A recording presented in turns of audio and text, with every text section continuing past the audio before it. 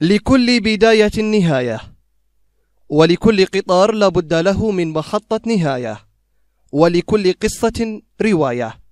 فقد بلغ السيل الزبا وارتوت طرابلس والمنطقة الغربية من الظلم والاستبداد.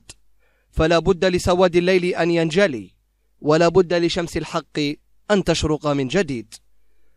وها قد استيقظت طرابلس لتخلع من عليها ذلك المعطف الذي ذاقت بسببه الأمرين.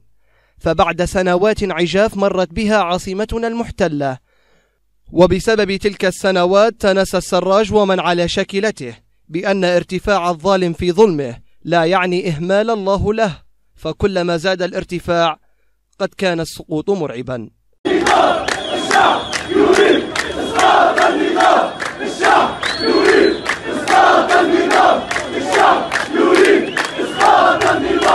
وتجددت المظاهرات الشعبية الرافضة لحكم الميليشيات وفساد سلطة السخيرات في طرابلس ومدن المنطقة الغربية. وشهود عيان أفادوا بتجدد المظاهرات في عدد من المناطق والأحياء بطرابلس رغم تهديدات المرتزقة والميليشيات وإطلاق النار على المتظاهرين.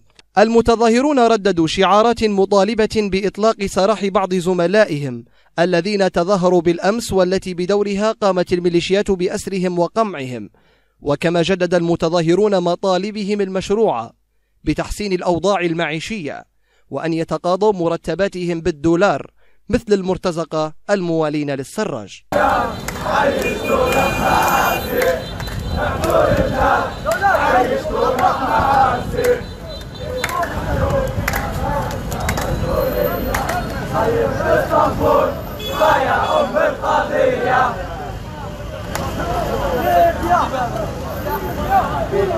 وندد المتظاهرون بجلب حكومة السخيرات للمرتزقة والجنود الأتراك مطالبين بإخراجهم من البلاد فورا لما عاثت به تلك المجموعات الإرهابية من فساد وعبث في ممتلكات المواطنين.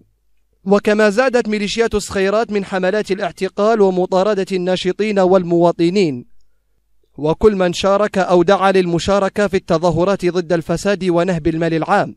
وإهدار مليارات الدولارات على المرتزقة والغزاة الأتراك. المظاهرات الحاشدة انطلقت من الزاوية ولتسمع صيحاتها في طرابلس وتستفيق مصراتة وتنهض غريان وتتظاهر صبراتة وجموع المنطقة الغربية قد خرجت لتقول كلمة الحق. فلا بد من ليبيا وإن طال النضال.